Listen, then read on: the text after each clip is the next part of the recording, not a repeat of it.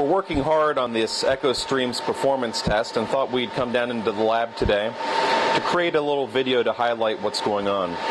Inside our StarTech 15U rack unit, we've got the Echo Streams box, which is a 2U server, has 48 bays, right now holding Intel SSD 520s. We also have a pair of Romley servers from HP, the DL380P ProLiant Gen 8s, and a Romley server from Supermicro, which is a custom build. We're hitting the server aggressively with a database workload right now with all three servers and wanted to just show you the lights. It's pretty fun to watch the activity as we pound away at it. It's even a little more fun when you turn off the lights and you get the whole Knight Rider effect.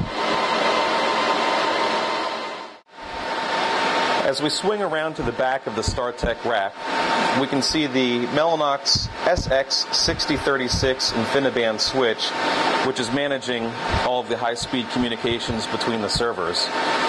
Up top, we have the Echo Streams box again, which has three InfiniBand cards. As we slide down the rack, we've got the two HP ProLiant Gen 8s with a InfiniBand card apiece, and tucked underneath the Super Micro has two InfiniBand cards. They're all connected, two ports each with an InfiniBand cabling from Mellanox. And Mellanox has been working with Storage Review aggressively on configuring the InfiniBand fabric to make sure everything's in optimal shape for high throughput between the servers.